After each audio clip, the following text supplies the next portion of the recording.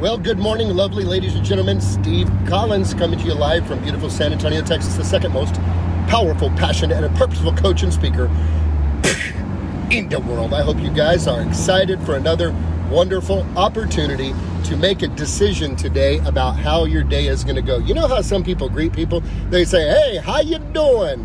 How you doing today? How you doing today? How you doing today?" I greet people a little bit differently. I don't say, How are you doing today? I say, How are you going to do today? They say, What? Say, How are you going to do today? Like, are you going to have a great day or are you not going to have a great day? It's up to you. Anyway, that's a bonus for this morning's conversation. This morning's conversation is going to be to shine a light on something that should give you peace or something that should cause you maybe a little bit of discomfort to help you want to become more than you currently are. And it's this the good news is that God knows your heart. The bad news is that God knows your heart. What do I mean by that? You're saying the same thing, Steve, yet differently.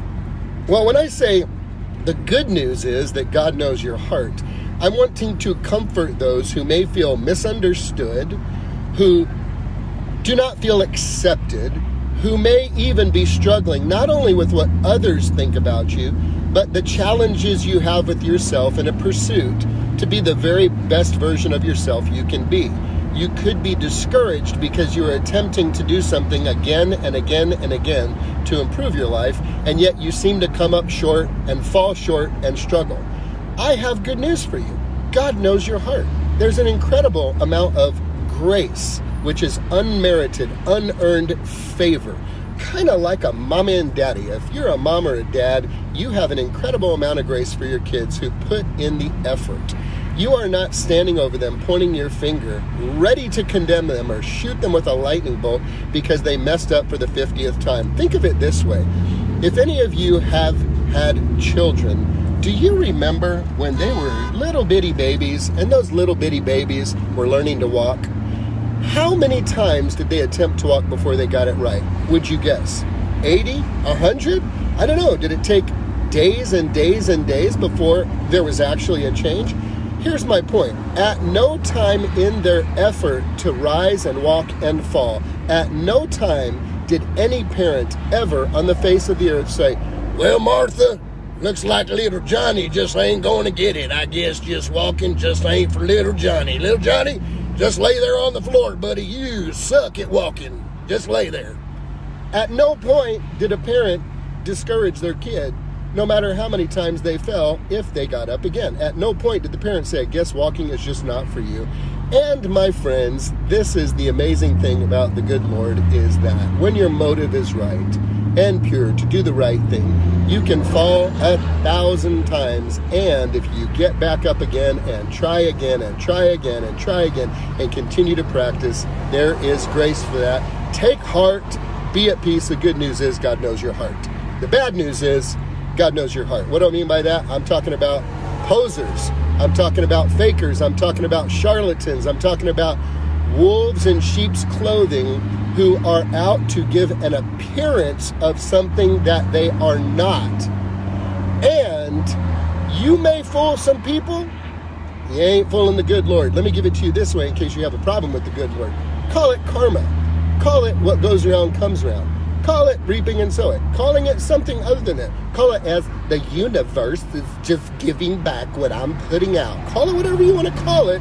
It's a principle like gravity. Well, I don't believe in gravity. No worries, dog. Jump off that building. Let's see what happens.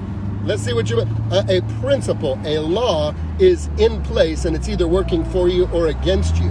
So when I say the bad news is God knows your heart, Mm, what I mean by that, and use your karma word if you want to, use your universe word if you want to. What goes around comes around. You may fool some people, but you're going to be found out and be exposed. It will happen. That's the beauty of principles working for you or against you. So, what is the good news? The good news is if you're doing your best, you're trying your best, and you're working towards becoming all you were created to become, there is grace a thousand times over, no matter how many times you fall, if you get back up and continue to pursue and just don't quit. Just don't give up. There's good news. God knows your heart. He's got your back. And the bad news is, God knows your heart. Check your motives. Check yourself, as the rapper says, before you wreck yourself and examine yourself. Because what is truly going on in your heart eventually will show up. What goes on in private eventually will show up in public. Therefore, if you're doing your best and you're struggling and falling, it is so cool and it's okay. That's how life works. It just works that way. It's like a baby learning how to walk. You don't discourage them. You don't tell them, lay down there, buddy. You just found down like 58 times. Walking ain't for you, pal. Just lay there on the ground. You just, I guess, walking ain't for you. No, never. The parents are always encouraging. Come on, little Johnny. Let's, boy, you got it. Hop up, baby. Let's do it again. Brush yourself up. Let's go. Let's go.